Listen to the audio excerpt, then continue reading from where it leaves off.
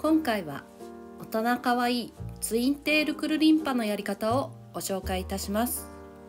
表参道の夏やヘアスタイリストの国分が解説いたします。今日のポイントは1ツインテールの髪の毛を取る量。2髪の結び目の位置。3クルリンパをする時の角度。この3つです。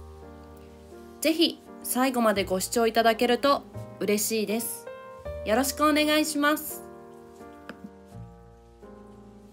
まずはトップ部分の髪の毛を2箇所ツインテール用に分け取っていきます。髪の毛を分け取るときに顔周りは出過ぎないよう遅れ毛は少し落として残しておきましょう。頭頂部から左右に四角形に図のような形で髪を分け取っていきます。手ぐしで髪の毛を溶かしていくのですがこの時後ろに向かって溶かして後ろの部分で髪の毛をまとめて結びます。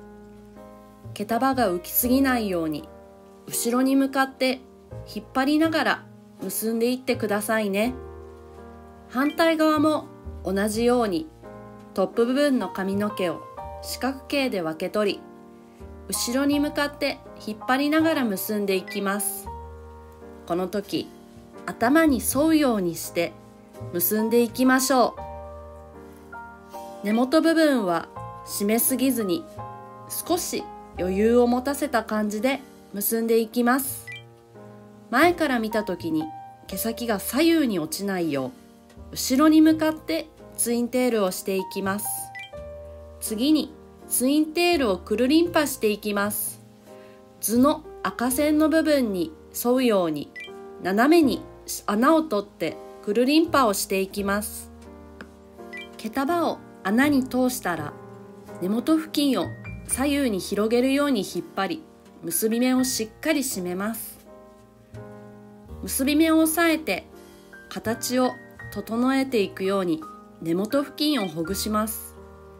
反対側もバランスを見て同じような量を少しずつほぐしていきます。これで完成です。ぜひ試してみてください。最後までご視聴いただきありがとうございました。少しでも参考になったなと思いましたら高評価チャンネル登録お願いいたします。